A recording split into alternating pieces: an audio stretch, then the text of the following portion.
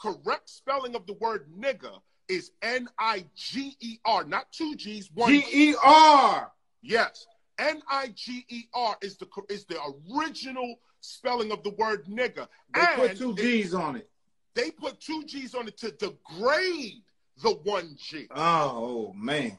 Okay, they put two G's to degrade the one. What they're calling us is a degradation, but the word itself is not a degradation. In Mhm. fact, the original niggas are teachers and prophets. The original niggas. N I G E R. Matter of fact, because I want to Wow. Come on with Uh, it, uh, man. me- Come let on me with it, man. Come on with it.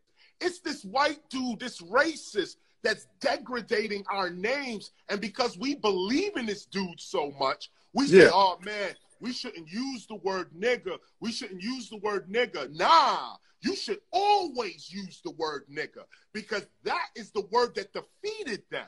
That's what, imagine, imagine a colonist, a colonist, which is what they are, imperialists and colonists. They coming in your land to steal your stuff. That's their only purpose, okay? So they go there and they say, who's the king? They say the nigger right here. And some Mhm. call us the nigger, the nigger, the naga, and the negus. The All of these are the same words. All of them Mm. are the same words. Mm, So they say, yo, that's the nigga, the king, right there. You go try to diss the king by saying, oh, nigga. Like you're gonna degrade. It's, it's, it's sort of like saying That's that's deep. That's deep. I get it. I get it.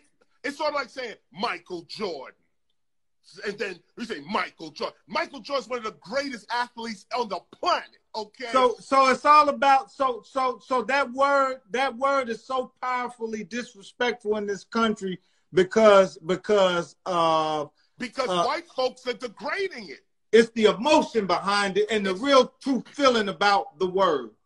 because because white folk are saying nigga while they hating us we don't want to use the word but what we got to understand is that the the very word nigga n-i-g-e-r that word means king that that is that was our word so imagine if china was to invade america the first thing they would say is president is a derogatory term anybody calling themselves a president is is Uh, that, yeah, you know, I get yeah. so- the president's three- derogatory.